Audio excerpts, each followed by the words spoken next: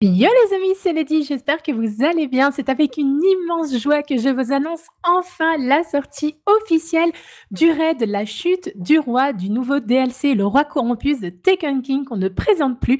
Le raid a été officiellement annoncé pour le 18 septembre prochain. Voilà, c'est fait, une bonne chose d'annoncer. N'hésitez pas à réagir dans les commentaires, à laisser un petit like si vous avez apprécié cette info, cette vidéo. Je vous laisse terminer en beauté avec le trailer de ce prochain raid. Je vous fais de très gros bisous et je vous dis à très bientôt pour d'autres infos. Ciao tout le monde Facing Oryx was never the end.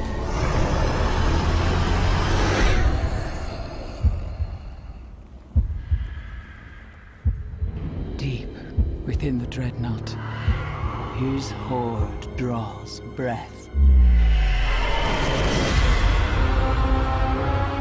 You cannot face this alone.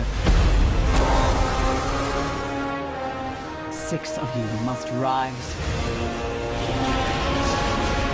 and stand together as the king falls.